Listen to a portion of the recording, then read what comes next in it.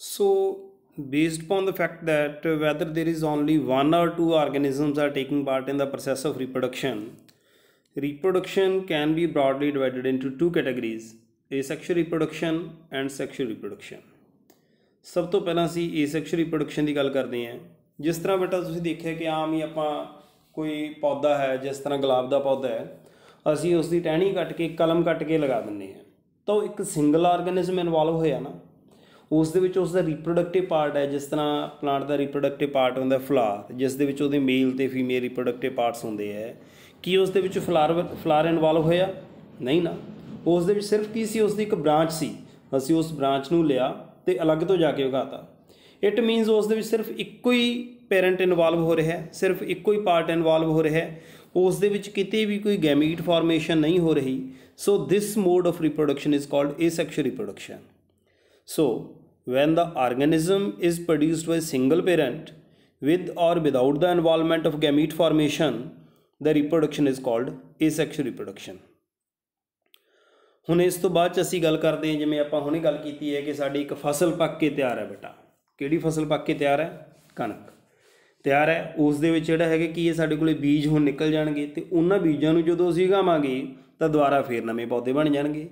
It means ਉਹਨਾਂ ਨੇ ਕੀ ਕੀਤਾ? ਇੱਕ ਰਿਪਰੋਡਕਸ਼ਨ ਕੰਪਲੀਟ ਕੀਤੀ ਹੈ ਤੇ ਉਸ ਰਿਪਰੋਡਕਸ਼ਨ ਦੇ ਵਿੱਚ ਉਹਨਾਂ ਦਾ ਫਲਾਰ ਵਾਲਾ ਪਾਰਟ ਇਨਵੋਲਵ ਹੋਇਆ ਹੈ। ਫਲਾਰ ਦੇ ਵਿੱਚ ਦੋਨੋਂ ਪਾਰਟ ਨੇ ਐਂਡਰੋਸ਼ੀਅਮ ਗਾਇਨੋਸ਼ੀਅਮ ਜਿਵੇਂ ਅਸੀਂ ਪਹਿਲਾਂ ਆਲਰੇਡੀ ਇਹ ਚੀਜ਼ਾਂ ਸਾਰੀਆਂ ਪਲੱਸ 1 ਦੇ ਵਿੱਚ ਪੜ੍ਹ ਚੁੱਕੇ ਹਾਂ ਕਿ ਦੋਨੋਂ ਜਦੋਂ ਪਾਰਟਸ ਇਸ ਦੇ ਵਿੱਚ ਇਨਵੋਲਵ ਹੋ ਰਹੇ ਹੈ, when two parents are involved, then this process of reproduction is called sexual reproduction ਤੇ sexual reproduction ਦਾ ਇੱਕ ਹੋਰ ਹੈ ਕਿ ਇਸ ਦੇ ਵਿੱਚ ਹਮੇਸ਼ਾ ਕੀ ਹੋਏਗਾ ਬੇਟਾ? ਗੈਮੀਟਸ ਦੀ ਫਾਰਮੇਸ਼ਨ ਹੋਏਗੀ there will be formation of male and female gametes ਤੇ ਜਦੋਂ ਗੈਮੀਟਸ ਬਣ ਜਾਂਦੇ ਆ ਤਾਂ ਗੈਮੀਟਸ ਦੇ ਬਣਨ ਤੋਂ ਬਾਅਦ ਦੇ ਵਿੱਚ ਫਿਰ ਉਹਨਾਂ ਦੀ ਕੀ ਹੁੰਦੀ ਹੈ ਫਰਟੀਲਾਈਜੇਸ਼ਨ ਵੀ ਹੁੰਦੀ ਹੈ ਸੋ ਫਰਟੀਲਾਈਜੇਸ਼ਨ ਜਦੋਂ ਇਸ ਦੇ ਵਿੱਚ ਇਨਵੋਲਵ ਹੁੰਦੀ ਹੈ ਤਾਂ ਅਸੀਂ ਉਸ ਨੂੰ ਕੀ ਬੋਲ ਦਿੰਦੇ ਆ ਸੈਕਸ਼ੂਅਲ ਰਿਪਰੋਡਕਸ਼ਨ ਤਾਂ ਹੁਣ ਬੇਟਾ ਜਿਹੜਾ ਹੈਗਾ ਕਿਉਂਕਿ ਸਾਡਾ ਜਿਹੜਾ ਇਹ ਚੈਪਟਰ ਬੇਸਿਕ ਚੈਪਟਰ ਹੈਗਾ ਇਸ ਦੇ ਵਿੱਚ ਅਸੀਂ ਸਾਰੇ ਜਿਹੜੇ ਅਲੱਗ-ਅਲੱਗ ਮੋਡਸ ਹੈਗੇ ਸੈਕਸ਼ੂਅਲ ਰਿਪਰੋਡਕਸ਼ਨ ਦੇ ਉਹ ਸਟੱਡੀ ਕਰਨੇ ਹੈਗੇ, ਉਹ ਡਿਸਕਸ ਕਰਨੇ ਆ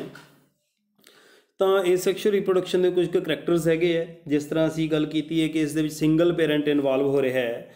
So offspring is produced by single parent only ਇਹ ਜਿਹੜਾ ਪ੍ਰੋਸੈਸ ਹੈਗਾ, ਇਹ ਇਹੋ ਜਿਹੇ ਆਰਗੇਨਿਜ਼ਮਸ ਦੇ ਵਿੱਚ ਹੁੰਦਾ ਹੈ, ਜਿਨ੍ਹਾਂ ਦੀ ਆਰਗੇਨਾਈਜੇਸ਼ਨ ਬੜੀ ਸਿੰਪਲ ਹੈਗੀ ਹੈ। ਦੈਨ ਇਸ ਦੇ ਵਿੱਚ ਜਿਹੜੀ ਹੈਗੀ ਹੈ ਗੈਮੀਟ ਫਾਰਮੇਸ਼ਨ ਜਿਹੜੀ ਹੈਗੀ ਉਹ ਨਹੀਂ ਹੁੰਦੀ। ਆਫਸਪ੍ਰਿੰਗਸ ਜਿਹੜੇ ਹੈਗੇ ਹੈ ਕਿਉਂਕਿ ਇਹ ਚ ਗੈਮੀਟ ਫਾਰਮੇਸ਼ਨ ਨਹੀਂ ਹੋ ਰਹੀ, ਉਹ ਅਲੱਗ-ਅਲੱਗ ਪੈਰੈਂਟਸ ਤੋਂ ਨਹੀਂ ਆ ਰਹੇ ਸਿੰਗਲ ਆਰਗੇਨਿਜ਼ਮ ਤੋਂ ਹੀ ਇੱਕ ਨਵਾਂ ਆਰਗੇਨਿਜ਼ਮ ਪ੍ਰੋਡਿਊਸ ਹੋ ਰਿਹਾ ਹੈ ਇਟ ਮੀਨਸ ਜਿਹੜਾ ਨਵਾਂ ਆਰਗੇਨਿਜ਼ਮ ਬਣ ਰਿਹਾ ਹੈ ਕਿਉਂਕਿ ਸਿੰਗਲ ਪੈਰੈਂਟ ਤੋਂ ਆ ਰਿਹਾ ਹੈ it means that will be genetically and morphologically similar to its parent so ਇਸ ਚੀਜ਼ ਨੂੰ ਅਸੀਂ ਕੀ ਬੋਲਾਂਗੇ? ਕਲੋਨ ਇਹਦਾ ਮਤਲਬ ਜਿਹੜਾ ਡਾਟਰ ਸੈੱਲ ਹੈਗਾ that will be exact copy or replica of the parent so ਇਹਨਾਂ ਨੂੰ ਅਸੀਂ ਕਲੋਨਸ ਵੀ ਕਹਿ ਸਕਦੇ ਹਾਂ ਸੋ ਜੇ ਅਸੀਂ ਗੱਲ ਕਰੀਏ ਸੈਕਸ਼ੂਅਲ ਰਿਪਰੋਡਕਸ਼ਨ ਦੇ ਮੋਡਸ ਜਿਹੜੇ ਹੈਗੇ ਇਹਨਾਂ ਦੇ ਉੱਤੇ ਇੱਕ ਬਰੀਫ ਅਸੀਂ ਦੇਖੀਏ ਇਹਨਾਂ ਦੇ ਕੀ ਕੀ ਕੈਰੈਕਟਰਿਸਟਿਕਸ ਹੈਗੇ ਆ it involves only one parent single parent ਹੋ ਰਿਹਾ ਹੈ there is no gamete formation ਜਦੋਂ ਗੈਮੀਟ ਫਾਰਮੇਸ਼ਨ ਨਹੀਂ ਹੋਏਗੀ ਇਹਦਾ ਮਤਲਬ ਉਹਨਾਂ ਦੀ ਫਿਊਜ਼ਨ ਵੀ ਨਹੀਂ ਹੋਏਗੀ ਇਟ ਮੀਨਸ ਇਹਨਾਂ ਦੇ ਵਿੱਚ ਫਰਟੀਲਾਈਜੇਸ਼ਨ ਵੀ ਨਹੀਂ ਹੋਏਗੀ ਦੈਨ ਇਹ ਪ੍ਰੋਸੈਸ ਬੜਾ ਫਾਸਟ ਹੁੰਦਾ ਹੈ it takes place in a very small period of time and there is rapid multiplication multiplication ਬਹੁਤ ਫਾਸਟ ਹੋ ਜਾਂਦੀ ਹੈ ਕਿਉਂਕਿ ਜਿਹੜਾ ਹੈਗਾ ਮੈਂ ਆਲਰੇਡੀ ਗੱਲ ਕਰ ਚੁੱਕੇ ਹਾਂ ਕਿ it takes place in very small period of time ਤੇ ਜਦੋਂ ਘੱਟ ਟਾਈਮ ਪੀਰੀਅਡ ਲੱਗੇਗਾ ਤਾਂ ਮਲਟੀਪਲੀਕੇਸ਼ਨ ਬੜੀ ਰੈਪਿਡਲੀ ਹੋਏਗੀ देयर इज ਲਿਮਟਿਡ ਵੇਰੀਏਸ਼ਨ ਅਸੀਂ ਇਹ ਵੀ ਗੱਲ ਆਲਰੇਡੀ ਕਰ ਚੁੱਕੇ ਹਾਂ ਕਿ ਜਿਹੜੀ ਹੈਗੀ ਜੈਨੇਟਿਕਲੀ ਤੇ morphologically that will be similar that's why ਜਿਹੜਾ ਹੈਗਾ ਇਸ ਦੇ ਵਿੱਚ ਵੇਰੀਏਸ਼ਨਸ ਜਿਹੜੀਆਂ ਹੈਗੀਆਂ ਉਹ ਨਹੀਂ ਹੋਣਗੀਆਂ। ਇਹ ਵੇਰੀਏਸ਼ਨਸ ਦਾ ਜੋ ਕਨਸੈਪਟ ਹੈ ਜਿਵੇਂ ਮੈਂ ਆਲਰੇਡੀ ਗੱਲ ਕੀਤੀ ਹੈ ਕਿ ਅਸੀਂ ਚੈਪਟਰ 5 ਯੂਨਿਟ 2 ਦੇ ਵਿੱਚ ਜ਼ਿਆਦਾ ਡਿਟੇਲ ਦੇ ਵਿੱਚ ਪੜਾਂਗੇ ਸੋ ਇਹ ਹੈਗੇ ਨੇ ਕੁਝ ਕਰੈਕਟਰਿਸਟਿਕਸ ਆਫ ਸੈਕਸ਼ੂਅਲ ਰਿਪਰੋਡਕਸ਼ਨ ਇਸ ਤੋਂ ਬਾਅਦ ਦੇ ਵਿੱਚ ਬੇਟਾ, ਕਿਹੜੀ ਕਿਹੜੀ ਟਾਈਪਸ ਦੀ ਹੋ ਸਕਦੀ ਹੈ? ਇਹਦੇ ਅਲੱਗ-ਅਲੱਗ ਮੈਥਡਸ ਹੈਗੇ, ਅਸੀਂ ਵਨ ਬਾਈ ਵਨ ਡਿਸਕਸ ਕਰਾਂਗੇ। ਬਾਈਨਰੀ ਫਿਜ਼ਨ ਹੈ ਬਡਿੰਗ ਹੈ ਫ੍ਰੈਗਮੈਂਟੇਸ਼ਨ ਹੈ ਵੈਜੀਟੇਟਿਵ ਪ੍ਰੋਪੇਗੇਸ਼ਨ ਹੈ ਸਪੋਰੋਜੈਨੇਸਿਸ ਹੈਗੀ ਹੈ। ਸੋ ਕਮਿੰਗ ਸਲਾਈਡਸ ਦੇ ਵਿੱਚ ਅਸੀਂ ਇਹਨਾਂ ਨੂੰ ਵਨ ਬਾਈ ਵਨ ਡਿਸਕਸ ਕਰਨ ਵਾਲੇ ਹਾਂ। ਨਾਲ ਨਾਲ ਬੇਟਾ ਜਿਹੜਾ ਹੈਗਾ, ਤੁਸੀਂ ਆਪਣੀ ਬੁੱਕ ਦੇ ਉੱਤੇ ਵੀ ਜ਼ਰੂਰ ਨਿਗਾਹ ਮਾਰਿਓ ਇਸ ਲੈਕਚਰ ਨੂੰ ਸੁਣਨ ਤੋਂ ਬਾਅਦ ਦੇ ਵਿੱਚ। ਉਹਦੇ ਵਿੱਚ ਵੀ ਤੁਹਾਨੂੰ ਇਹ ਸਾਰੇ ਜਿਹੜੇ ਹੈਗੇ ਮੋਡਸ ਜਿਹੜੇ ਸੈਕਸ਼ੂਅਲ ਪ੍ਰੋਡਕਸ਼ਨ ਦੇ ਉਹ ਮਿਲਣਗੇ। ਸਭ ਤੋਂ ਪਹਿਲਾਂ ਗੱਲ ਕਰਦੇ ਆਂ ਬਾਈਨਰੀ ਫਿਜ਼ਨ ਦੀ। ਫਿਜ਼ਨ ਦਾ ਮਤਲਬ ਹੁੰਦਾ ਹੈ ਡਿਵਾਈਡ ਹੋ ਜਾਣਾ, ਕਿਸੇ ਚੀਜ਼ ਨੂੰ ਡਿਵਾਈਡ ਕਰਨਾ। ਬਾਈਨਰੀ ਦਾ ਮਤਲਬ ਦੋ ਪਾਰਟਸ ਦੇ ਵਿੱਚ ਡਿਵਾਈਡ ਕਰਨਾ। ਸੋ ਜੇ ਸਾਡੇ ਕੋਲੇ ਇੱਕ ਸੈੱਲ ਹੈਗਾ ਉਹ ਇੱਕ ਸੈੱਲ ਡਿਵਾਈਡ ਕਰਕੇ ਆਪਣੇ ਵਰਗੇ ਦੋ ਸੈੱਲ ਬਣਾ ਦਿੰਦਾ ਹੈ। ਇਹਦਾ ਮਤਲਬ ਉਸ ਦੀ ਫਿਜ਼ਨ ਹੋਗੀ and this fission is called binary fission So during binary fission, the parent cell divides into two cells. The cell division patterns vary in the different organisms. ਇਹ ਜਿਹੜੀ ਹੈਗੀ ਹੈ ਬੇਟਾ ਡਾਇਰੈਕਸ਼ਨਲ ਵੀ ਹੋ ਸਕਦੀ ਹੈ ਜਾਂ ਜਿਹੜੀ ਹੈਗੀ ਇਰੈਗੂਲਰ ਵੀ ਹੋ ਸਕਦੀ ਹੈ। ਜਿਵੇਂ ਅਸੀਂ ਗੱਲ ਕਰੀਏ ਅਮੀਬਾ ਦੀ ਅਸੀਂ ਗੱਲ ਕਰੀਏ। ਅਮੀਬਾ ਦੇ ਵਿੱਚ ਬੇਟਾ ਕੀ ਹੈ? ਅਮੀਬਾ ਦੀ ਜਿਹੜੀ ਬਾਡੀ ਹੈ ਉਹ ਇਰੈਗੂਲਰ ਬਾਡੀ ਹੁੰਦੀ ਹੈ। ਤਾਂ ਉਸ ਦੇ ਵਿੱਚ ਜਿਹੜੀ ਹੈਗੀ ਜਦੋਂ ਡਿਵੀਜ਼ਨ ਹੁੰਦੀ ਹੈ, ਇਸ ਦਾ ਜਿਹੜਾ ਨਿਊਕਲੀਅਸ ਹੈਗਾ ਸਟਾਰਟਿੰਗ ਦੇ ਵਿੱਚ ਜਿਹੜਾ ਹੈਗਾ ਨਿਊਕਲੀਅਸ ਜਿਹੜਾ ਹੈਗਾ, ਉਹ ਦੋ ਨਿਊਕਲੀਅਸ ਦੇ ਵਿੱਚ ਡਿਵਾਈਡ ਹੋਣਾ ਸ਼ੁਰੂ ਹੋ ਜਾਂਦਾ ਹੈ। ਅਲਟੀਮੇਟਲੀ ਜਿਹੜਾ ਆਰਗੇਨਿਜ਼ਮ ਵੀ ਪੂਰੀ ਤਰ੍ਹਾਂ ਡਿਵਾਈਡ ਹੋ ਜਾਂਦਾ ਹੈ ਤੇ ਸਾਡੇ ਕੋਲੇ ਦੋ ਡਾਟਰ ਸੈਲਸ ਜਿਹੜੇ ਹੈਗੇ ਨੇ, ਉਹ ਬਣ ਜਾਂਦੇ ਆ ਤਾਂ ਇਹ ਬਾਈਨਰੀ ਫਿਜ਼ਨ ਜਿਹੜੀ ਹੈਗੀ ਇਸ ਤਰ੍ਹਾਂ ਅਮੀਬਾ ਦੇ ਵਿੱਚ ਹੁੰਦੀ ਹੈ।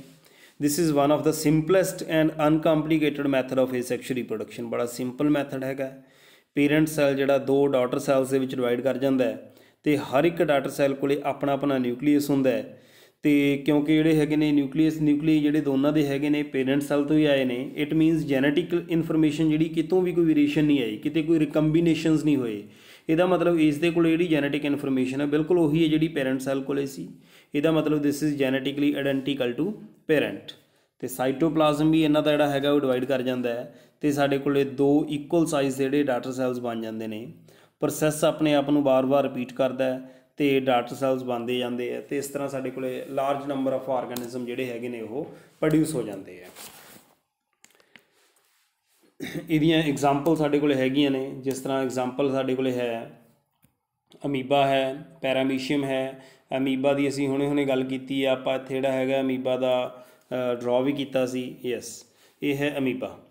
ਅਮੀਬਾ ਦੇ ਵਿੱਚ ਨਿਊਕਲੀਅਸ ਹੈ ਸਾਈਟੋਪਲਾਜ਼ਮ ਹੈ ਬਾਇਨਰੀ ਫਿਜ਼ਨ ਦੇਖੋ ਇਸ ਦੇ ਵਿੱਚ ਕਿਵੇਂ ਨਿਊਕਲੀਅਸ ਜਿਹੜਾ ਹੈਗਾ ਉਹ ਡਿਵਾਈਡ ਹੋ ਰਿਹਾ ਹੈ ਦੈਨ ਸਾਈਟੋਪਲਾਜ਼ਮ ਵੀ ਡਿਵਾਈਡ ਹੋ ਰਿਹਾ ਹੈ। ਐਂਡ ਫਾਈਨਲੀ ਸਾਡੇ ਕੋਲੇ ਦੋ ਡਾਟਰ ਸੈਲਸ ਆ ਗਏ, ਜਿਹੜੇ ਕਿ ਲਗਭਗ ਇੱਕ ਦੂਸਰੇ ਦੇ ਬਰਾਬਰ ਦੇ ਹੈਗੇ ਨੇ ਤੇ ਉਹਨਾਂ ਦਾ ਜਿਹੜਾ ਜੈਨੇਟਿਕ ਮਟੀਰੀਅਲ ਹੈਗਾ ਉਹ ਜੈਨੇਟਿਕ ਮਟੀਰੀਅਲ ਪੈਰੈਂਟ ਦੇ ਨਾਲ ਮਿਲਦਾ ਹੈ। ਸੋ ਇਹ ਹੈ ਇਹ sexual reproduction the mode binary fission in amoeba ਇਸ ਤੋਂ ਬਾਅਦ ਅਸੀਂ ਗੱਲ ਕਰੀਏ ਪੈਰਾਮੀਸ਼ੀਅਮ ਦੀ। ਪੈਰਾਮੀਸ਼ੀਅਮ ਵੀ ਜਿਹੜਾ ਹੈਗਾ ਇੱਥੇ ਡਰਾ ਕੀਤਾ ਗਿਆ ਹੈ। ਇਸ ਦੇ ਵਿੱਚ ਤੁਸੀਂ ਦੇਖੋ ਬਟਾ ਕਿ ਪੈਰਾਮੀਸ਼ੀਅਮ ਦੇ ਵਿੱਚ ਮੈਂ ਤੁਹਾਨੂੰ ਦੋ ਨਿਊਕਲੀਅਸ ਦਿਖਾਏ ਹੈ micro nucleus and macro nucleus ਇੱਕ ਪੈਰਾਮੀਸ਼ੀਅਮ ਕੋਲੇ ਦੋ ਨਿਊਕਲੀਅਸ ਹੁੰਦੇ ਹੈ, ਜੋ ਮੈਕਰੋ ਨਿਊਕਲੀਅਸ ਹੈ ਇਹ ਪੋਲੀਪਲੋਇਡ ਹੁੰਦਾ ਹੈ। ਪੋਲੀਪਲੋਇਡ ਦਾ ਮਤਲਬ ਕੀ ਹੈ ਕਿ ਇਸ ਦੇ ਕੋਲੇ ਕ੍ਰੋਮੋਸੋਮਸ ਜਿਹੜੇ ਹੈਗੇ ਨੇ, ਉਹ ਸੈੱਟ ਜਿਹੜੇ ਹੈਗੇ ਨੇ ਜ਼ਿਆਦਾ ਹੁੰਦੇ ਆ, ਦੋ ਤੋਂ ਜ਼ਿਆਦਾ ਹੁੰਦੇ ਆ। ਤੇ ਜੋ ਮਾਈਕਰੋ ਨਿਊਕਲੀਅਸ ਹੈਗਾ ਉਹ ਡਿਪਲੋਇਡ ਹੁੰਦਾ ਹੈ। ਕਿ ਪੇਅਰਸ ਦੇ ਵਿੱਚ ਕ੍ਰੋਮੋਸੋਮਸ ਹੁੰਦੇ ਆ, ਇੱਕ ਸੈੱਟ ਜਿਹੜਾ ਕ੍ਰੋਮੋਸੋਮਸ ਦਾ ਹੁੰਦਾ ਹੈ। ਤਾਂ ਕਿਸੇ ਵੀ ਪੈਰਾਮੀਸ਼ੀਅਮ ਦੇ ਕੋਲੇ ਨੰਬਰ ਆਫ ਡਿਪਲੋਇਡ ਨਿਊਕਲੀਅਸ ਜਿਹੜੇ ਹੈਗੇ ਨੇ ਜਾਂ ਮਾਈਕਰੋ ਨਿਊਕਲੀਅਸ ਜਿਹੜੇ ਹੈਗੇ ਨੇ, ਉਹ ਇੱਕ ਤੋਂ ਜ਼ਿਆਦਾ ਵੀ ਹੋ ਸਕਦਾ ਸੋ ਅਸੀਂ ਗੱਲ ਕਰਾਂਗੇ ਮਾਈਕਰੋ ਨਿਊਕਲੀਆਈ ਹੋ ਸਕਦੇ ਹੈ। ਤੇ ਮੈਕਰੋ ਨਿਊਕਲੀਅਸ ਇੱਕੋ ਹੀ ਹੋਏਗਾ। ਸੋ ਇਸ ਕਰਕੇ ਨਿਊਕਲੀਅਸ ਕਹਿ ਰਿਹਾ ਮੈਂ, ਇਹ ਪੋਲੀਪਲੋਇਡ ਹੁੰਦਾ ਹੈ ਤੇ ਇਹ ਜਿਹੜਾ ਮਾਈਕਰੋ ਨਿਊਕਲੀਅਸ ਹੈ, ਇਹ ਕੀ ਹੁੰਦਾ ਇਹ ਡਿਪਲੋਇਡ ਹੁੰਦਾ ਹੈ। ਜਿਹੜਾ ਮੈਕਰੋ ਨਿਊਕਲੀਅਸ ਹੈਗਾ ਇਹ ਸੈੱਲ ਦੇ ਜਿੰਨੇ ਵੀ ਨਾਨ ਰੀਪਰੋਡਕਟਿਵ ਫੰਕਸ਼ਨਸ ਹੈਗੇ ਨੇ ਡੇਲੀ ਫੰਕਸ਼ਨਿੰਗ ਜਿਹੜੀ ਹੈਗੀ ਉਸ ਦੇ ਲਈ ਜੀਨਸ ਨੂੰ ਐਕਸਪ੍ਰੈਸ ਕਰਨਾ, ਉਹ ਸਾਰਾ ਕੰਮ ਜਿਹੜਾ ਹੈਗਾ, ਉਹ ਮੈਕਰੋ ਨਿਊਕਲੀਅਸ ਦਾ ਹੁੰਦਾ ਹੈ ਤੇ ਜਿਹੜਾ ਦੂਸਰਾ ਨਿਊਕਲੀਅਸ ਮਾਈਕਰੋ ਨਿਊਕਲੀਅਸ ਹੈਗਾ ਇਹ ਜਨਰੇਟਿਵ ਹੁੰਦਾ ਹੈ। ਇਹਦੇ ਕੋਲੇ ਜੈਨੇਟਿਕ ਮਟੀਰੀਅਲ ਹੁੰਦਾ ਹੈ ਤੇ ਜੈਨੇਟਿਕ ਮਟੀਰੀਅਲ ਜਿਹੜਾ ਹੈਗਾ, ਉਹ ਇੱਕ ਜਨਰੇਸ਼ਨ ਤੋਂ ਦੂਸਰੀ ਜਨਰੇਸ਼ਨ ਤੱਕ ਜਿਹੜਾ ਹੈਗਾ ਪਾਸ ਹੁੰਦਾ ਹੈ। ਤਾਂ ਇਸ ਦੇ ਵਿੱਚ ਮੈਂ ਦਿਖਾ, ਦਿਖਾਈ ਦੇ ਰਿਹਾ ਹੈ ਕਿ ਦੋਨੋਂ ਨਿਊਕਲੀਅਸ ਜਿਹੜੇ ਹੈਗੇ ਨੇ ਡਿਵਾਈਡ ਕਰ ਰਹੇ ਹੈ। ਮਾਈਕਰੋ ਨਿਊਕਲੀਅਸ ਜਿਹੜਾ ਕਿ ਮੈਂ ਆਲਰੇਡੀ ਗੱਲ ਕਰ ਚੁੱਕਿਆ ਕਿ ਡਿਪਲੋਇਡ ਹੈ ਇਸ ਦੀ ਮਾਈਟੋਟਿਕ ਡਿਵੀਜ਼ਨ ਹੋ ਰਹੀ ਹੈ ਤੇ ਜਿਹੜਾ ਮੈਕਰੋਨਿਊਕਲੀਅਸ ਹੈਗਾ ਇਸ ਦੀ ਏਮਾਈਟਿਕ ਡਿਵੀਜ਼ਨ ਹੋ ਰਹੀ ਹੈ ਕਿਉਂਕਿ ਪੋਲੀਪਲਾਈਡ ਹੈਗਾ ਇਹ। ਤਾਂ ਦੈਨ ਜਿਹੜਾ ਹੈਗਾ ਨਾਲ ਨਾਲ ਇਸ ਦਾ ਜਿਹੜਾ ਔਰਲ ਗਰੂਪ ਇੱਕੋ ਹੀ ਹੁੰਦਾ ਹੈ, ਉਹ ਪਹਿਲਾਂ ਡਿਸਅਪੀਅਰ ਹੋ ਰਿਹਾ ਹੈ ਦੈਨ ਜਿਹੜੇ ਹੈਗੇ ਨੇ ਨਵੇਂ ਅਪੀਅਰ ਹੋ ਗਏ ਦੋ, ਤੇ ਬਿਲਕੁਲ ਵਿਚਕਾਰ ਤੋਂ ਇਸਨੇ ਡਿਵਾਈਡ ਹੋ ਜਾਣਾ ਹੈ ਕੰਟਰੈਕਟਾਈਲ ਵੈਕਿਊਲਸ ਨਵੇਂ ਬਣ ਗਏ, ਤੇ ਸਾਡੇ ਕੋਲੇ ਦੋ ਜਿਹੜੇ ਹੈਗੇ ਨੇ ਡਾਟਰ ਜਿਹੜੇ ਹੈਗੇ ਨੇ ਪੈਰਾਮੀਸ਼ੀਅਮ ਬਣ ਗਏ। ਡਿਵੀਜ਼ਨ ਵਿਚਕਾਰ ਤੋਂ ਹੋਈ ਹੈ ਤਾਂ ਅਸੀਂ ਇਸ ਨੂੰ ਟਰਾਂਸਵਰਸ ਡਿਵੀਜ਼ਨ ਵੀ ਬੋਲ ਦਿੰਨੇ ਆ। ਤਾਂ ਇਸ ਤਰੀਕੇ ਨਾਲ ਇੱਕ ਪੈਰਾਮੀਸ਼ੀਅਮ ਜਿਹੜਾ ਹੈਗਾ ਉਸ ਤੋਂ ਦੋ ਪੈਰਾਮੀਸ਼ੀਅਮ ਬਣ ਗਏ। ਕਿਵੇਂ ਬਣੇ ਆ? ਫਿਜ਼ਨ ਨਾਲ ਬਣੇ ਆ। ਕੀ ਦੋ ਪੇਰੈਂਟ ਇਨਵੋਲਵ ਹੋਏ ਹੈ no, single parent is involved. It means this is asexual reproduction. Divide ਦੋ ਚ ਹੋ ਰਿਹਾ ਹੈ। ਸੋ ਫਿਜ਼ਨ ਕਿਹੜੀ ਆ ਗਈ? Binary fission. ਸੋ ਇਹ ਹੈਗੇ ਟਾਈਪਸ ਆਫ ਸੈਕਸ਼ੂਅਲ ਰਿਪਰੋਡਕਸ਼ਨ ਦੇ ਵਿੱਚ ਪਹਿਲਾ ਮੋਡ ਬਾਈਨਰੀ ਫਿਜ਼ਨ ਹੁਣ ਬੇਟਾ ਅਸੀਂ ਨੈਕਸਟ ਮੋਡ ਵੱਲ ਜਾ ਰਹੇ ਹਾਂ। ਨੈਕਸਟ ਮੋਡ ਹੈ ਫਰੈਗਮੈਂਟੇਸ਼ਨ ਦਾ। ਫਰੈਗਮੈਂਟੇਸ਼ਨ ਦਾ ਮਤਲਬ ਪਾਰਟਸ ਦੇ ਵਿੱਚ ਟੁੱਟ ਜਾਣਾ। ਤੇ ਇੱਕ ਇਹੋ ਜਿਹਾ ਸੈਕਸ ਰਿਪਰੋਡਕਸ਼ਨ ਦਾ ਮੈਥਡ ਹੈ, ਜਿਸ ਦੇ ਵਿੱਚ ਆਰਗੇਨਿਜ਼ਮ ਜਿਵੇਂ ਸਪਾਇਰੋ ਵਗੈਰਾ ਹੈ ਜਾਂ ਪਲੈਨੇਰੀਆ ਵਰਗੇ ਆਰਗੇਨਿਜ਼ਮ ਹੈਗੇ ਨੇ, ਇਹਨਾਂ ਦੇ ਵਿੱਚ ਪੇਰੈਂਟ ਬਾਡੀ ਜਿਹੜੀ ਹੈਗੀ ਆ, ਉਹ ਬਹੁਤ ਸਾਰੇ ਪਾਰਟਸ ਦੇ ਵਿੱਚ ਟੁੱਟ ਜਾਂਦੀ ਹੈ। ਜਿਵੇਂ ਇੱਥੇ ਆਪਾਂ ਦੱਸ, ਦਿਖਾਇਆ ਕਿ ਇਹ ਆਪਣੇ ਕੋਲੇ ਤਿੰਨ ਪਾਰਟਸ ਇਸ ਦੇ ਬਣ ਗਏ, ਤਿੰਨ ਫਰੈਗਮੈਂਟਸ ਬਣ ਗਏ। ਤੇ ਹਰ ਇੱਕ ਜਿਹੜਾ ਪਾਰਟ ਹੈਗਾ ਉਸ ਦੇ ਕੋਲੇ ਕੈਪੈਸਿਟੀ ਹੁੰਦੀ ਹੈ ਕਿ ਉਹ ਪੂਰੇ ਦੇ ਪੂਰੇ ਆਰਗੇਨਿਜ਼ਮ ਦੇ ਵਿੱਚ ਕਨਵਰਟ ਹੋ ਸਕਦਾ ਹੈ। ਇਹਦਾ ਮਤਲਬ ਇੱਕ ਆਰਗੇਨਿਜ਼ਮ ਤੋਂ ਫਰੈਗਮੈਂਟੇਸ਼ਨ ਨਾਲ ਕਿੰਨੇ ਬਣ ਗਏ? ਤਿੰਨ ਬਣ ਗਏ, ਜ਼ਿਆਦਾ ਵੀ ਸੋ ਇਹ ਜਿਹੜਾ ਹੈਗਾ ਆਪਣੇ ਕੋਲੇ ਮੋਡ ਆਫ ਸੈਕਸ਼ੂਅਲ ਰਿਪਰੋਡਕਸ਼ਨ ਹੈਗਾ ਇਸ ਨੂੰ ਅਸੀਂ ਬੋਲ ਦਿੰਦੇ ਆ ਫਰੈਗਮੈਂਟੇਸ਼ਨ ਸਾਡੇ ਲਈ ਇੰਪੋਰਟੈਂਟ ਚੀਜ਼ ਕੀ ਹੈ ਕਿ ਕਿਸ ਦੀ ਕਿਹਦੇ ਵਿੱਚ ਹੋ ਰਿਹਾ ਹੈ? ਐਗਜ਼ਾਮਪਲ ਕੀ ਇਸ ਦੀ? ਪਲੈਨੇਰੀਆ ਹੈ ਸਪਾਇਰੋਗੈਰਾ ਹੈ। ਸੋ ਅਸੀਂ ਜਿਹੜਾ ਹੈਗਾ ਐਗਜ਼ਾਮੀਨੇਸ਼ਨ ਪੁਆਇੰਟ ਆਫ View ਤੋਂ ਚੱਲੀਏ ਤਾਂ ਸਾਡੇ ਲਈ ਐਗਜ਼ਾਮਪਲਸ ਜ਼ਿਆਦਾ ਇੰਪੋਰਟੈਂਟ ਹੋ ਜਾਂਦੀਆਂ ਨੇ। ਇਹਨਾਂ ਨੂੰ ਜ਼ਰੂਰ ਤੁਸੀਂ ਧਿਆਨ ਦੇ ਵਿੱਚ ਰੱਖਣਾ ਹੈ। ਨੈਕਸਟ ਆਪਣੇ ਕੋਲੇ ਹੈ ਬਡਿੰਗ ਵੈਸੇ ਬਟਾ ਤੁਸੀਂ ਛੋਟੀਆਂ ਕਲਾਸਾਂ ਦੇ ਵਿੱਚ ਵੀ ਪੜ੍ਹ ਚੁੱਕੇ ਹੋ, ਸੋ ਅਸੀਂ ਜਿਹੜਾ ਹੈਗਾ ਬਡਿੰਗ ਦੇ ਵਿੱਚ ਕੀ ਪੜ੍ਹਦੇ ਆਂ ਕਿ ਇੱਕ ਆਰਗੇਨਿਜ਼ਮ ਹੈ, ਜਿਵੇਂ ਇਹ ਦਿਖਾਈ ਦੇ ਰਿਹਾ ਤੁਹਾਨੂੰ ਸਕਰੀਨ ਦੇ ਉੱਤੇ, ਤਾਂ ਇਹ ਹਾਈਡਰਾ ਹੈ।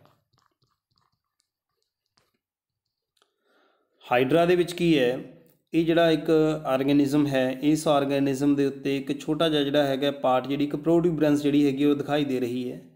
ਦੈਨ ਇਹ ਗਰੋ ਕਰ ਰਹੀ ਹੈ। But it is still attached to the parent body ਉਸ ਦੇ ਨਾਲ ਅਟੈਚਡ ਹੈਗੀ ਹੈ ਤੇ ਡਿਵੈਲਪ ਹੋ ਰਹੀ ਹੈ ਹੌਲੀ ਹੌਲੀ ਬ੍ਰੈਡ ਬਡ ਗਰੋ ਕਰ ਜਾਂਦਾ ਹੈ ਜਦੋਂ ਇਹ ਪੂਰੀ ਤਰ੍ਹਾਂ ਗਰੋ ਕਰ ਜਾਂਦਾ ਹੈ then it get separated from the parent body ਤੇ ਇੱਕ ਇੰਡੀਵਿਜੂਅਲ ਆਰਗੇਨਿਜ਼ਮ ਦੇ ਵਿੱਚ ਡਿਵੈਲਪ ਹੋ ਜਾਂਦਾ ਹੈ ਸੋ what is budding in budding a small bud is produced due to cell division at one or particular site and it remains attached initially to the parent cell but eventually it gets separated ਹੌਲੀ ਹੌਲੀ separate ਹੋ ਜਾਂਦਾ ਹੈ and matures into a new individual this mode of asexual reproduction is called budding. And example is hydra. ਸਾਡੇ ਕੋਲੇ next mode ਹੈਗਾ ਗੈਮਿਊਲ ਜੈਮਿਊਲ formation ਤਾਂ ਹੁਣ ਜੈਮਿਊਲ ਫਾਰਮੇਸ਼ਨ ਕਿਹਦੇ ਵਿੱਚ ਹੁੰਦੀ ਹੈ? ਇਹ ਸਪੌਂਜਸ ਦੇ ਵਿੱਚ ਹੁੰਦੀ ਹੈ।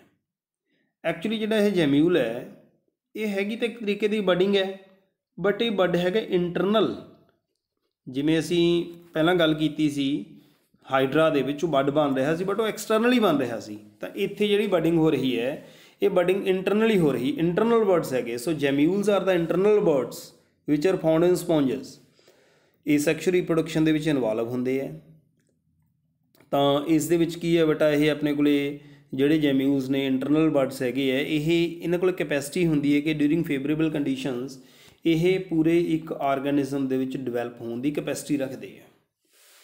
ਤਾਂ ਬੇਟਾ ਇਹ ਡਾਇਗਰਾਮ ਜਿਹੜਾ ਤੁਹਾਡੀ ਬੁੱਕ ਦੇ ਵਿੱਚ ਬਣਿਆ ਹੋਇਆ ਹੈ, ਇਹ ਵਾਲਾ ਪਿਕਚਰ ਮੈਂ ਬੁੱਕ ਦੇ ਵਿੱਚੋਂ ਲਿਆ ਹੈ, ਇਸ ਤਰ੍ਹਾਂ ਦਾ ਬਣਿਆ ਹੋਇਆ ਬਟ ਆ ਜਿਹੜਾ ਦੂਸਰਾ ਹੈਗਾ, ਇਹ ਆਪਣੀ ਬੁੱਕ ਦੇ ਵਿੱਚ ਨਹੀਂ ਹੈਗਾ। ਇਹ ਤੁਹਾਨੂੰ ਸਮਝਾਉਣ ਦੇ ਲਈ ਮੈਂ ਇਸ ਕਰਕੇ ਲਿਆ ਕਿਉਂਕਿ ਇਸ ਤੋਂ ਕੁਝ ਕਲੀਅਰ ਨਹੀਂ ਹੋ ਰਿਹਾ ਲੇਬਲਿੰਗ ਨਹੀਂ ਹੈ। ਐਕਚੁਅਲੀ ਇਹ ਜਿਹੜਾ ਜੈਮਿਊਲ ਹੈ, ਜਿਹੜਾ ਇੰਟਰਨਲ ਬਡ ਹੈ, ਇਹ ਆਰਚੀਓਸਾਈਟਸ ਸੈਲਸ ਦਾ ਗਰੁੱਪ ਹੁੰਦਾ ਇਹਦੇ ਵਿੱਚ ਜਿੰਨੇ ਵੀ ਆ ਸੈਲਸ ਹੈਗੇ ਨੇ, ਸਾਰੇ ਆਰਚੀਓਸਾਈਟ ਸੈਲਸ ਹੈਗੇ ਨੇ। ਉੱਪਰੋਂ ਇਹਦੀ ਇੱਕ ਓਪਨਿੰਗ ਹੁੰਦੀ ਹੈ ਮਾਈਕਰੋਪਾਈਲ ਇਸ ਦੇ ਬਾਹਰ ਜਿਹੜੀਆਂ ਹੈਗੀਆਂ ਪ੍ਰੋਟੈਕਟਿਵ ਕਵਰਿੰਗਸ ਹੈਗੀਆਂ ਆਊਟਰ ਕਵਰਿੰਗ ਹੈ ਇਨਰ ਕਵਰਿੰਗ ਹੈਗੀ ਹੈ। ਤਾਂ ਐਕਚੁਅਲ ਦੇ ਵਿੱਚ ਏਸੈਕਸ਼ੂਅਲ ਰੀਪਰੋਡਕਸ਼ਨ ਦੇ ਵਿੱਚ ਹੈਲਪ ਕਿਹਨੇ ਕਰਨੀ ਹੈ ਨਾ? ਆਰਚੀਓਸਾਈਟਸ ਨੇ ਕਰਨੀ ਹੈ, ਜਿਹੜੇ ਕਿ ਸੈਲਸ ਇਸ ਦੇ ਅੰਦਰ ਪਏ ਹੈ। During favourable condition micropylar and ਦੇ ਵਿੱਚੋਂ ਇਹ ਬਾਹਰ ਆਉਣਗੇ। ਤੇ ਬਾਹਰ ਆ ਕੇ ਜਿਹੜਾ ਹੈਗਾ ਇੱਕ ਫੁੱਲ ਜਿਹੜਾ ਹੈਗਾ ਸਪੌਂਜ ਜਿਹੜਾ ਹੈਗਾ ਉਸ ਦੇ ਵਿੱਚ ਗਰੋ ਕਰ ਜਾਣਗੇ, ਉਸ ਦੇ ਵਿੱਚ ਡਿਵੈਲਪ ਕਰ ਜਾਣਗੇ। ਤਾਂ ਇਹ ਜਿਹੜਾ ਹੈਗਾ ਬਟ ਆਪਣੇ ਕੋਲੇ ਜੈਮੀਲ ਫਾਰਮੇਸ਼ਨ ਹੈ this is the mode of asexual reproduction ਜਿਹੜਾ ਕਿ ਕਿਹਦੇ ਵਿੱਚ ਹੁੰਦਾ ਹੈ? ਸਪੰਜਸ ਦੇ ਵਿੱਚ ਹੁੰਦਾ ਹੈ। ਤਾਂ ਇਸ ਤੋਂ ਨੈਕਸਟ ਬੇਟਾ ਜਿਹੜਾ ਹੈਗਾ ਆਪਣੇ ਕੋਲੇ ਮੋਡ ਹੈ, ਉਹ ਹੈ ਸਪੋਰ ਫਾਰਮੇਸ਼ਨ ਇਹਦੇ ਵਿੱਚ ਬੇਟਾ ਤੁਸੀਂ ਬਹੁਤ ਸਾਰੇ ਆਰਗੇਨਿਜ਼ਮ ਇਸ ਤਰ੍ਹਾਂ ਦੇ ਦੇਖੇ ਹੋਣਗੇ। ਜਿਸ ਤਰ੍ਹਾਂ ਆਪਾਂ ਕਹਿੰਦੇ ਨੇ ਕਿ ਯੀਸਟ ਹੈਗੀ ਹੈ, ਉੱਲੀ ਹੈਗੀ ਆ ਉਸ ਦੇ ਜਿਹੜੇ ਹੈਗੇ ਨੇ ਛੋਟੇ ਛੋਟੇ ਜਿਹੜੇ ਹੈਗੇ ਉਹ ਬਲੈਕ ਕਲਰ ਦੇ ਜਿਹੜੇ ਹੈਗੇ ਸਪੌਟ ਜੇ ਬਣ ਜਾਂਦੇ ਆ। ਸਪੋਰਸ ਹੁੰਦੇ ਆ। ਤਾਂ ਇਹ ਜਨਰਲੀ ਪ੍ਰੋਟੋਜੋਨਸ ਦੇ ਵਿੱਚ ਹੁੰਦਾ ਹੈ ਕੁਝ ਕੁ ਬੈਕਟੀਰੀਆ ਦੇ ਵਿੱਚ ਪਲਾਂਟਸ ਜਾਂ ਫੰਜਾਈ ਦੇ ਵਿੱਚ ਹੋ ਸਕਦਾ ਹੈ ਕਿ ਇਹ ਰੀਪਰੋਡਿਊਸ ਕਰਦੇ by spore formation spores are the structures which are naturally grown as a part of organisms life cycle so organism ਦੇ life cycle ਦੇ ਵਿੱਚ naturally ਬਣਦੇ ਆ। ਤੇ ਉਸ ਤੋਂ ਸੈਪਰੇਟ ਹੋ ਜਾਂਦੇ ਆ ਡਿਸਪਰਸ ਹੋ ਜਾਂਦੇ ਆ ਡਿਸਪਰਸ ਜਿਵੇਂ ਸੀਡਸ ਦੀ ਡਿਸਪਰਸਲ ਹੁੰਦੀ ਹੈ, ਬਿਲਕੁਲ ਉਸੇ ਤਰੀਕੇ ਨਾਲ ਇਹਨਾਂ ਦੀ ਡਿਸਪਰਸਲ ਹੋ ਜਾਂਦੀ ਹੈ by air or water but and when conditions are favourable ਤਾਂ ਹਰ ਇੱਕ ਸਪੋਰ ਜਿਹੜਾ ਹੈਗਾ ਇੱਕ ਸੈਪਰੇਟ ਆਰਗੇਨਿਜ਼ਮ ਦੇ ਵਿੱਚ ਗਰੋ ਕਰ ਜਾਂਦਾ ਹੈ। ਤਾਂ ਇਹ ਕੁਛ ਹੱਦ ਤੱਕ ਜਿਹੜਾ ਹੈਗਾ ਜੇ ਅਸੀਂ ਪੈਰਲਲ ਸੈਕਸ਼ੂਅਲ ਰੀਪਰੋਡਕਸ਼ਨ ਦਾ ਮੈਥਡ ਲੈ ਕੇ ਚੱਲੀਏ ਕਿ ਜਿਵੇਂ ਪਲਾਂਟ ਸੈਕਸ਼ੂਅਲੀ ਰਿਪਰੋਡਿਊਸ ਕਰਦੇ ਐ ਤਾਂ ਉਹਨਾਂ 'ਚ ਸੀਡਸ ਬਣ ਜਾਂਦੇ ਐ ਸੀਡਸ ਜਿਹੜੇ ਹੈਗੇ ਨੇ ਉਹ ਡਿਸਪਰਸ ਹੋ ਜਾਂਦੇ ਆ ਆਲੇ ਦੁਆਲੇ 에ਅਰ ਜਾਂ ਵਾਟਰ ਨਾਲ ਸੀਡਸ ਡਿਸਪਰਸ ਹੁੰਦੇ ਐ ਤਾਂ ਉਹ ਜਿਹੜੇ ਹੈਗੇ ਨੇ ਸੀਡਸ ਅਲੱਗ-ਅਲੱਗ ਜਗ੍ਹਾ ਦੇ ਉੱਤੇ ਜਾ ਕੇ ਜਿਹੜੇ ਹੈਗੇ ਨੇ ਉਹ ਡਿੱਗ ਜਾਂਦੇ ਐ ਤਾਂ ਉੱਥੋਂ ਜਿਹੜਾ ਹੈਗਾ ਉਹ ਨਵਾਂ ਆਰਗੇਨਿਜ਼ਮ ਬਣ ਜਾਂਦਾ ਹੈ। ਬਿਲਕੁਲ ਉਸੇ ਤਰੀਕੇ ਨਾਲ ਸਪੋਰਸ ਹੁੰਦੇ ਐ ਸਪੋਰਸ ਜਿਹੜੇ ਹੈਗੇ ਨੇ ਬਸ ਇਹਨਾਂ ਦਾ ਜਿਹੜਾ ਫ਼ਰਕ ਹੀ ਹੈ ਕਿ ਇਹ ਬਣੇ ਕਿਵੇਂ ਨੇ। ਇਹ ਏਸੈਕਸ਼ੂਅਲ ਰੀਪਰੋਡਕਸ਼ਨ ਨਾਲ ਬਣੇ ਐ ਇਸ ਦੇ ਵਿੱਚ ਗੈਮੀਟ ਫਾਰਮੇਸ਼ਨ ਨਹੀਂ ਸੀ ਹੋਈ। ਦੋ ਪੇਰੈਂਟ ਜਿਹੜੇ ਹੈਗੇ ਨੇ ਉਹ ਇਨਵੋਲਵ ਨਹੀਂ ਸੀ ਹੋਏ। ਤਾਂ ਇਹ ਜਿਹੜਾ ਬੇਟਾ ਇਸ ਤੋਂ ਬਾਅਦ ਦੇ ਵਿੱਚ ਜਿਵੇਂ ਮੈਂ ਇਸ ਦੇ ਵਿੱਚ ਗੱਲ ਕੀਤੀ ਡਿਸਪਰਸਲ ਦੀ ਸੀ ਡਿਸਪਰਸਲ ਦੀ ਉਹ ਜਿਹੜਾ ਟੌਪਿਕ ਸੈਪਰੇਟਲੀ ਅਸੀਂ ਜਿਹੜਾ ਹੈਗਾ ਚੈਪਟਰ 2 ਦੇ ਵਿੱਚ ਬੜਾ ਡਿਟੇਲ ਦੇ ਵਿੱਚ ਪੜਾਂਗੇ ਦੈਨ ਬੇਟਾ ਹੈ ਕੈਨੇਡੀਆ। ਇਹ ਵੀ ਜਿਹੜੇ ਹੈਗੇ ਨੇ, ਦੇਖੋ ਇੱਕ ਤਰੀਕੇ ਨਾਲ ਆਪਣੇ ਕੋਲ ਸਪੋਰਸ ਹੀ ਨੇ। ਇੱਥੇ ਸਕਰੀਨ ਦੇ ਤੁਸੀਂ ਦੇਖੋ, ਇਹ ਜਿਹੜਾ ਕੈਨੇਡੀਆ ਫਾਰਮੇਸ਼ਨ ਹੁੰਦੀ ਕਿਹਦੇ ਵਿੱਚ ਹੈ? ਪੈਨਸਿਲੀਅਮ ਦੇ ਵਿੱਚ ਹੁੰਦੀ ਹੈ। ਤਾਂ ਇਸ ਦੇ ਵਿੱਚ ਜਿਹੜਾ ਹੈਗਾ ਨਾ ਬੇਟਾ, ਇੱਕ ਤਰੀਕੇ ਨਾਲ ਇਹ ਜਿਹੜੇ ਉੱਤੇ ਸਪੋਰਸ ਹੀ ਬਣ ਰਹੇ ਨੇ, ਬਟ ਇਹਨਾਂ ਸਪੋਰਸ ਨੂੰ ਇੱਥੇ ਸਪੈਸੀਫਿਕ ਨੇਮ ਦਿੱਤਾ ਕੈਨੇਡੀਆ। ਤਾਂ ਫ਼ਰਕ ਕੀ ਹੈ ਬੇਟਾ? ਕੁਝ ਵੀ ਨਹੀਂ ਹੈਗੇ ਤਾਂ ਇੱਕ ਤਰੀਕੇ ਨਾਲ ਸਪੋਰਸ ਹੀ ਨੇ, ਸਿਰਫ ਫਾਰਮੇਸ਼ਨ ਦਾ ਫ਼ਰਕ ਹੈ। ਫਾਰਮੇਸ਼ਨ ਦਾ ਫ਼ਰਕ ਕੀ ਹੁੰਦਾ ਹੈ ਕਿ ਜਿਹੜੀ ਸਪੋਰੋਜੈਨਸਿਸ ਹੁੰਦੀ ਹੈ, ਉਹ ਚ ਸਪ੍ਰੈਂਜੀਓਸਪੋਰਸ ਜਿਹੜੇ ਹੈਗੇ ਨੇ, ਉਹ ਕੁਝ ਕੁ ਸਪੈਸ਼ਲਾਈਜ਼ ਸੈਲਸ ਹੁੰਦੇ ਆ, ਜਿਨ੍ਹਾਂ ਸਪੈਸ਼ਲਾਈਜ਼ ਸੈਲਸ ਨੂੰ ਅਸੀਂ ਸਪਰੈਂਜੀਆ ਕਹਿੰਦੇ ਆ। ਉਹਨਾਂ ਸਪਰੈਂਜੀਆ ਦੇ ਵਿੱਚ ਹੀ ਜਿਹੜੇ ਹੈਗੇ ਨੇ ਉਹ ਸਪੋਰਸ ਡਿਵੈਲਪ ਹੁੰਦੇ ਆ। ਤੇ ਉਹਦੇ ਵਿੱਚ ਹੀ ਰਹਿੰਦੇ ਨੇ ਜਦੋਂ ਤੱਕ ਕਿ ਉਹਨਾਂ ਨੂੰ ਮੈਚੁਰਿਟੀ ਨਹੀਂ ਮਿਲ ਜਾਂਦੀ। ਬਟ ਕੈਨੇਡੀਆ ਫਾਰਮੇਸ਼ਨ ਦੇ ਵਿੱਚ ਕੀ ਹੁੰਦੀ ਹੈ? ਇਹ ਪ੍ਰੋਡਿਊਸ ਤਾਂ ਉਸੇ ਤਰੀਕੇ ਨਾਲ ਇੱਕ ਸੈੱਲ ਦੇ ਵਿੱਚ ਹੋ ਰਹੇ ਹੈ ਬਟ ਮੈਚੁਰਿਟੀ ਤੱਕ ਨਹੀਂ ਇਹਦੇ ਵਿੱਚ ਰਹਿੰਦੇ। ਮੈਚੁਰ ਕੀ ਹੁੰਦੇ ਨੇ ਇਹ? ਐਕਸਟਰਨਲੀ ਹੁੰਦੇ ਆ ਇਸ ਤਰੀਕੇ ਨਾਲ ਇਹਦੇ ਉੱਤੇ ਐਕਸਟਰਨਲੀ ਮੈਚੁਰ ਹੋ ਰਹੇ ਆ ਤਾਂ ਇਹ ਜਿਹੜੀ ਹੈਗੀ ਹੈ ਮੋਡ ਜਿਹੜਾ ਹੈਗਾ ਇਹ ਮੋਡ ਜਿਹੜਾ ਹੈਗਾ ਇਸ ਨੂੰ ਕੈਨੇਡੀਆ ਫਾਰਮੇਸ਼ਨ ਕਹਿੰਦੇ ਆ ਇਹ ਸਪੈਸ਼ਲ ਮੀਨਸ ਹੈਗਾ ਜਿਹੜਾ ਹੈਗਾ ਅਸੀਂ ਕਹਿ ਸਕਦੇ ਹਾਂ ਕਿ ਸਪੋਰਸ ਜਿਹੜੇ ਪੈਨਸੀਲੀਅਮ ਦੇ ਹੈਗੇ ਉਹਨਾਂ ਨੂੰ ਅਸੀਂ ਕੀ ਬੋਲਾਂਗੇ? ਕੈਨੇਡੀਆ ਤਾਂ ਇਸ ਤਰੀਕੇ ਨਾਲ ਅਲੱਗ-ਅਲੱਗ ਜਿਹੜੇ ਹੈਗੇ ਸਾਡੇ ਕੋਲੇ ਮੋਡਸ ਨੇ।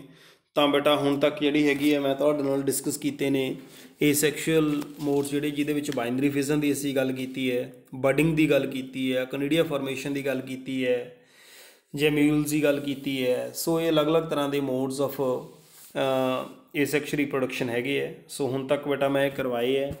ਅੱਜ ਆਪਾਂ ਜਿਹੜਾ ਹੈਗਾ, ਇੱਥੋਂ ਤੱਕ ਹੀ ਕਰਾਂਗੇ। ਇਸ ਤੋਂ ਬਾਅਦ ਦੇ ਵਿੱਚ ਜੋ ਨੈਕਸਟ ਟਾਪਿਕ ਹੈਗਾ ਤੁਹਾਡਾ ਉਹ ਜਿਸ ਦੇ ਵਿੱਚ ਸਾਡੇ ਕੋਲੇ ਵੈਜੀਟੇਟਿਵ ਪ੍ਰੋਪੇਗੇਸ਼ਨ ਐਂਡ ਪਲਾਂਟਸ ਉਹ ਟਾਪਿਕ ਅਸੀਂ ਲਾਵਾਂਗੇ। ਬਟ ਉੱਥੇ ਜਾਣ ਤੋਂ ਪਹਿਲਾਂ ਮੈਂ ਚਾਹੁੰਦਾ ਕਿਉਂਕਿ ਸਾਡਾ ਇਹ ਫਸਟ ਡੇ ਹੈ ਕਿ ਜਿੰਨਾ ਕੁ ਤੁਹਾਨੂੰ ਮੈਂ ਕੰਮ ਕਰਵਾਇਆ ਹੈ ਇਸ ਨੂੰ ਤੁਸੀਂ ਧਿਆਨ ਨਾਲ ਪੜੋ ਤੁਹਾਡੇ ਕੋਲੇ ਜਿਹੜੇ ਪੀਡੀਐਫ ਦੇ ਵਿੱਚ ਨੋਟਸ ਆਏ ਹੋਏ ਆ ਉਹਨਾਂ ਨੂੰ ਪੜੋ ਤੇ ਇਸ ਵੀਡੀਓ ਨੂੰ ਤੁਸੀਂ ਵੇਖ ਕੇ ਆਪਣੇ ਜਿਹੜੇ ਹੈਗੇ ਆ ਬੇਟਾ, ਉਹ ਨੋਟਸ ਵੀ ਤਿਆਰ ਕਰੋ। ਤਾਂ ਕਿ ਜਿਹੜਾ ਹੈਗਾ ਸਾਨੂੰ ਇਸ ਚੈਪਟਰ ਦੇ ਵਿੱਚ ਅਸੀਂ ਵਧੀਆ ਤਰੀਕੇ ਨਾਲ ਤਿਆਰੀ ਕਰ ਸਕੀਏ। ਸੋ ਐਂਡ ਦੇ ਵਿੱਚ ਜਿਹੜਾ ਹੈਗਾ ਬੇਟਾ, ਮੈਂ ਉਹ ਸਾਰਾ ਜਿਹੜਾ ਸਮ ਅਪ ਕਰਨ ਦੇ ਲਈ ਆਪਾਂ ਲੈ ਕੇ ਆਏ ਕਿ ਕਿਹੜੇ ਕਿਹੜੇ ਸਾਡੇ ਕੋਲੇ ਮੋਡਸ ਹੈਗੇ ਆ। ਜਿਵੇਂ ਸਭ ਤੋਂ ਪਹਿਲਾਂ ਅਸੀਂ ਗੱਲ ਕੀਤੀ ਹੈ ਕੈਨੇਡੀਆ ਦੀ। ਤਾਂ ਜਿਹੜੇ ਹੈਗੇ ਨੇ ਬੇਟਾ, ਕਿਹਦੇ ਵਿੱਚ ਹੁੰਦੇ ਆ? ਇਹ ਲਾਸਟ ਦੇ ਵਿੱਚ ਅਸੀਂ ਗੱਲ ਕੀਤੀ ਹੈ। ਪੈਨਸਿਲੀਅਮ ਦੇ ਵਿੱਚ ਹੈਗੇ ਨੇ। ਜੈਮਿਊਲਸ ਕਿਹਦੇ ਵਿੱਚ ਹੈਗੇ ਨੇ? ਸਪੌਂਜ ਹੈਗੇ ਆ। ਬਡਿੰਗ ਕਿਹਦੇ ਵਿੱਚ ਹੋ ਰਹੀ ਹੈ? ਹਾਈਡਰਾਚ ਹੋ ਰਹੀ ਹੈ। ਬਾਈਨਰੀ ਫਿਜ਼ਨ ਅਸੀਂ ਕਿਹਦੇ ਵਿੱਚ ਕੀਤੀ ਹੈ? ਪੈਰਾਮੀਸ਼ੀਅਮ ਦੇ ਵਿੱਚ ਕੀਤੀ ਹੈ ਤੇ ਫ੍ਰੈਗਮੈਂਟੇਸ਼ਨ ਪਲਾਨ ਏਰੀਆ ਦੇ ਵਿੱਚ ਕੀਤੀ ਹੈ। ਸੋ ਇਹ ਆਪਾਂ ਅਲੱਗ-ਅਲੱਗ ਜਿਹੜੇ ਹੈਗੇ ਨੇ ਅੱਜ ਮੋਡਸ ਕੀਤੇ ਹੈ, ਇਥੋਂ ਤੱਕ ਤੁਸੀਂ ਇਸ ਨੂੰ ਪੜੋ ਤੇ ਨੈਕਸਟ ਅਸੀਂ ਫਿਰ ਨੈਕਸਟ ਲੈਕਚਰ ਦੇ ਵਿੱਚ ਲਵਾਂਗੇ। Thank you